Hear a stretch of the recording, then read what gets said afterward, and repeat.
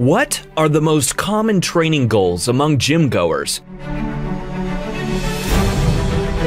Do lifters want shredded abs or bigger pecs?